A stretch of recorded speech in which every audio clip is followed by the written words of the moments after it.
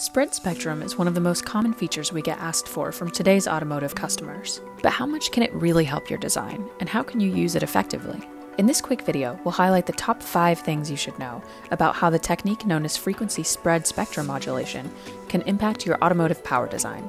Number 1. Spread spectrum takes electromagnetic energy that's focused at certain frequencies and spreads it out. Most automotive power supplies are intended to operate at a fixed frequency, usually above or below the AM radio band you'll get a large spike in the energy emitted by the power supply at this frequency, as well as its harmonics.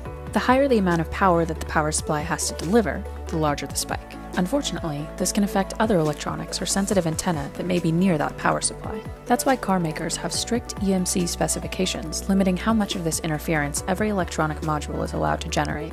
With spread spectrum, the energy content of those large spikes at the power supply's switching frequency isn't changed, but is simply redistributed across a slight interval above and below.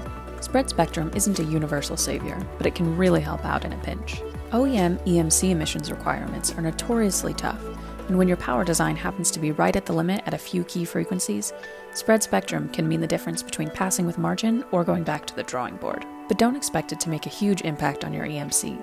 You'll get a few decibels of benefit at most. Not all spread spectrum is the same. There are many popular ways to implement a spread spectrum algorithm, whether it be with a triangular, sawtooth, sinusoidal, or even pseudo random profile. In general, we recommend going with a stepped triangular profile, since this evenly distributes the signal noise across the full range. We don't recommend going for a pseudo random approach, as the attenuation benefit you get from this technique is often less than the others. It's important to note that spread spectrum can hide unwanted signal behavior, or the telling indicators that a design might have problems. Since the purpose of spread spectrum is to redistribute the concentrated energy, this can hide phenomena like jitter or stability issues.